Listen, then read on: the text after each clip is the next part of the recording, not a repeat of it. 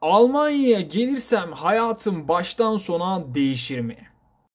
Türkiye'den Almanya'ya gitmek isteyenlerin aklındaki ilk şey ekonomi ve burada sınıf atlayacaklarını düşünmeleri.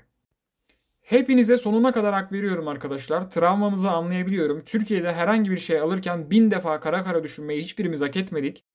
Ama buraya gelince de karşılaşacağınız hayat size o anlattıkları kadar toz pembe değil. Yani öyle işte Almanya'ya gelirim bir ay sonra iPhone 15 Pro Max'imi alırım. 6 ay sonra arabamı alırım. Bir sene sonra evimi alırım falan. Böyle şeyler kesinlikle zırva. Evet alım gücü Türkiye'ye göre daha iyi. Özellikle elektronik ve araba konusunda gerçekten çok fark var.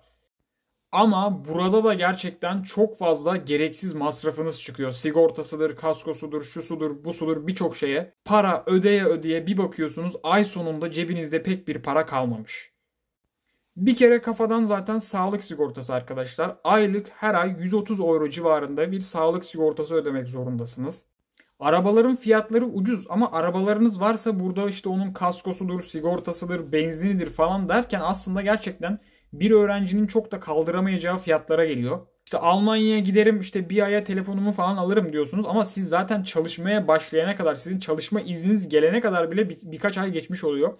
Almanya çok yavaş bir ülke arkadaşlar. Her şey çok yavaş işliyor. Yani sen o işi bulacaksın, maaşını biriktireceksin, kenara paranı koyacaksın, telefonunu alacaksın vesaire.